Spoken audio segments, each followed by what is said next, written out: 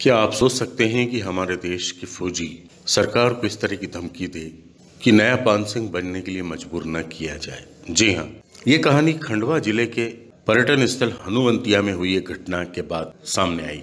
जम्मू कश्मीर में पदस्थ I T B T, Bharat Tibet Seema police जवान अमित सिंह के परिवार के साथ यह घटना हुई और उसके बाद अमित सिंह ने यह चेतावनी दी सरकार को कि वे उन्हें नया पान सिंह बनने के लिए मजबूर न करें। सबसे पहले तो हम ये जान लें कि पान सिंह की कहानी क्या है। पान सिंह तोमर पर फ़िल्म बन चुकी है और यह फ़िल्म बेहद चर्चित रही है। सबसे बड़ी बात यह है कि भिंड में पान सिंह तोमर के परिवार के साथ जो जाति की गई थी और उसके बाद जब सरकार की ओर से कोई कार्रवाई नहीं की गई और पान सिंह जब लौट कर गाँव में आया और उसने अपने परिवार के साथ हुई जाति देखी तो उसने बंदूक उठा ली और उसके बाद पान सिंह तोमर डाकू बन गया। एक फौजी के डाकू बनने की यह कहानी थी कि किस तरह से परिस्थितियाँ उसे देश की रक्षा की बजाय उसे डाकू बना देती है। इस पर फ़िल्म बनी और फ़िल्म को बेहद देखा गया।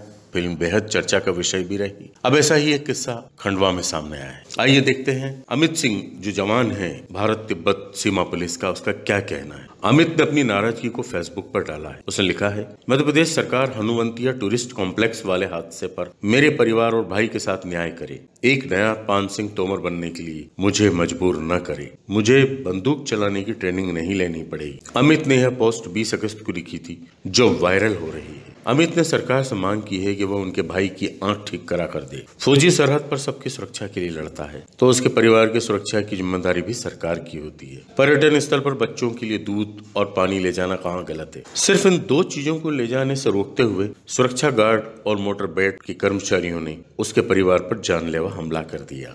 दरअसल 16 अगस्त को मूंदी खंडवा निवासी अतुल सिंह, विपुल सिंह और आशीष सिंह पत्नी तथा बच्चों के साथ हनुवंतिया गए थे। सुरक्षा गार्ड ने बच्चों के लिए दूध और पानी की बोतल भीतर ले जाने से रोका, इस पर विवाद बढ़ा और गार्ड तथा मोटर बोट कर्मचारियों ने तीनों को पीटा।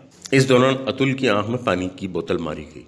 इससे रेटिना खराब हो गया और उन्हें इंदौर रेफर किया गया। उनकी आँख करीब 80 प्रतिशत खराब हो गई। दूसरी तरफ़ पुलिस ने सुरक्षा गार्ड चरण सिंह और मुकेश के अलावा अन्य लोगों पर भी केस दर्ज किया। था दूसरे दिन तीनों भाइयों पर भी काउंटर केस दर्ज कर लिया गया। मुंदी थाना प्रभारी अंतिम पवार के अनुसार दोनों पक्षों की शिकायत पर काउंटर केस दर्ज किया गया। इधर यह पूरा मामला जब सोशल मीडिया पर और खासकर फेसबुक पर वायरल हुआ तो मध्य प्रदेश के मुख्यमंत्री कमलनाथ द्वारा इस पूरी घटना के निष्पक्ष जाँच के आदेश दिए गए। उन्होंने खंडवा जिला प्रशासन को इस बारे में निर्देश दिए और तुरंत एक्शन पर अमित सिंह ने ट्वीट कर आभार भी जताया है। कुल मिलाकर फौजी जब देश की रक्षा करते हैं तो उनके परिवार की रक्षा की ज़िम्मेदारी सरकार की होती है, पुलिस की होती है। इस पूरे घटना में जिस तरह से उनके परिवार के साथ मारपीट की गई है, वह निश्चित रूप से निंदनीय है और यह साबित करती है कि फौजियों का परिवार भी आज हमारे मध्य प्रदेश में सुरक्षित नहीं है। Subscribe our channel and press the bell icon for more updates